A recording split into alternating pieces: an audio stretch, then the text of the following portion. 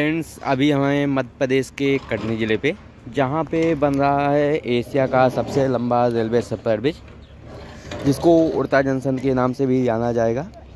जो आप सामने देख रहे हैं, ये है मुड़वाड़ा स्टेशन, और एक ब्रिज जो सामने दिख रही है, वो है कटनी ब्रिज जो कि डेढ़ किलोमीटर लंबी है। जो है मध्य प्रदेश की सबसे ऊँची ब्रिज है। इसको इसलिए इतना हाइट बनाया गया है क्योंकि इसके नीचे से जो उड़ता जंक्शन वाला रेलवे सेपरेट ब्रिज बन रहा है, उसके नीचे से जाने वाला है और इसके इसके नीचे से ये वाला ट्रैक होगा। जो ट्रैक आपको दिख रहा है,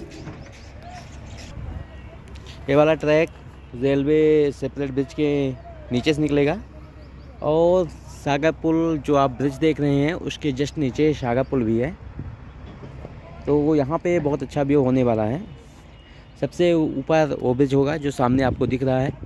उसके बीच, उसके नीचे से जो रेलवे सेपरेट का ब्रिज मिल रहा है, जिसका आप पियर सामने देख पा रहे हैं, ये जो पियर देख पा रहे हैं, उसका होगा रेलवे सेपरेट ब्रिज बनेगा। और इसके नीचे से ये रेलवे ट्रैक है, जो आप देख रहे हैं, सामने रेलवे ट्रैक, ये रेलवे ट्रैक है, इसके नीचे से रोड है। वहाँ से वाहन वगैरह जाते हैं। सामने आपको रिग मशीन दिख रही है, जो आपको ये दिख रही है। ये रिग मशीन है।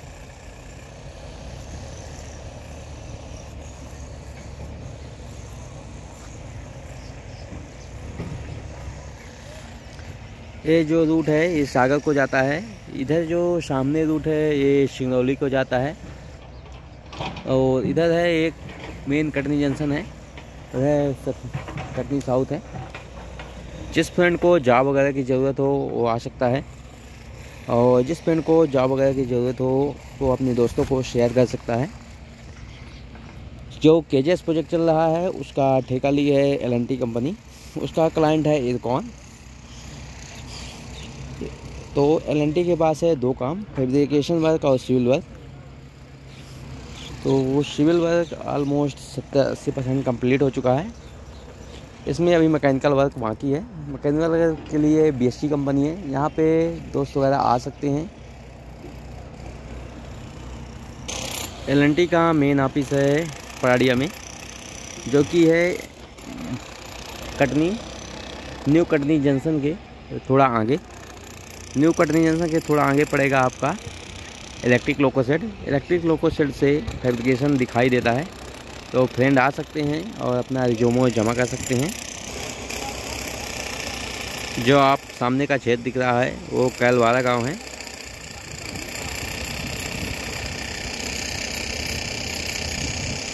टोटल जो रेलवे सफ़ेद ब्रिज की टोटल एरिया है, ये करीब 35 किलोमीटर है। बहुत सारा भी वर्क होना बाकी है इसमें। जैसा कि आप सामने देख रहे हैं, वहाँ पे पियर का काम चल रहा है। यहाँ पियर कंप्लीट नहीं हुए हैं अभी। नीचे तो फ़ाइल कैप भी नहीं हुआ। आप देख सकते हैं फाइलिंग हुई है। फाइलिंग की चिपिंग चल रही है। यहाँ पे अभी फाइलिंग की चिपिंग चल रही है। इसके ऊपर फ़ाइल कैप बनेगा और फ़ाइल कैप के ऊपर पियर बनेगा। जैसे कि आप सामने देख रहे हैं पियर और पियर के ऊपर पियर कैप बनेगा। ये है अप्लाइंग इसके जस्ट अपोजिट साइड है डाउन लाइन। डाउन लाइन का भी काम चल रहा है। अप लाइन का काम थोड़ा ज़्यादा स्पीड में है। करीब इधर का 80 परसेंट काम हो चुका है, सत्तर से 80 परसेंट। डाउन लाइन का काम अभी बाकी है। यह प्रोजेक्ट ख़त्म होगा दिसंबर 2024 में, लेकिन थोड़ा डिले हो जाएगा। ये 2025 तक ख़त्म होगा। ये रूट, सामने का रूट चालू है। जैसे मालगाड़ी जा रही है।